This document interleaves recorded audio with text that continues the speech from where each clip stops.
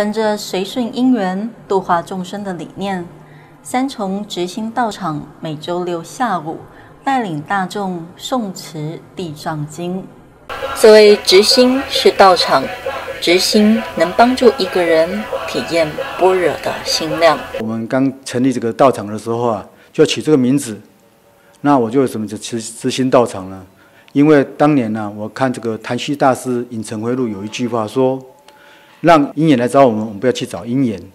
因为一找鹰眼就是攀岩那在执行道场建立以来，我就觉得说，那我们接着这个不找鹰眼了，要鹰眼来找我们，我们叫随眼。那在这个大台北地区啊，那么多这个道场林立啊，山头啊啊山头，这都是那么多。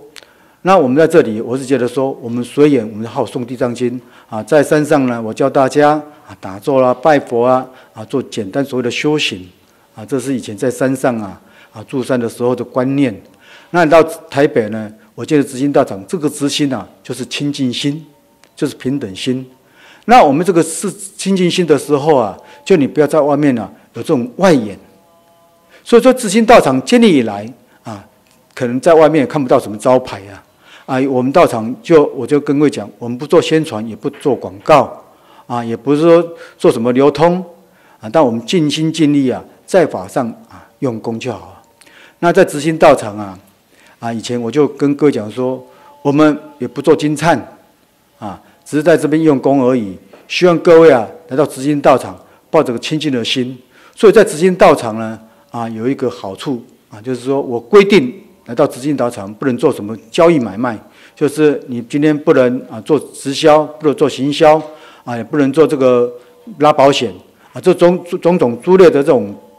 贸易啊交易啊，我都严禁的这个禁止啊，不能发言，不能这个这个募款，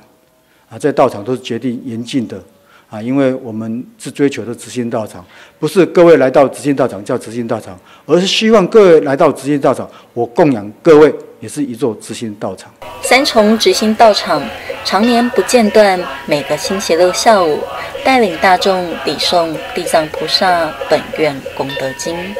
十方新闻记者戴玉荣台北采访报道。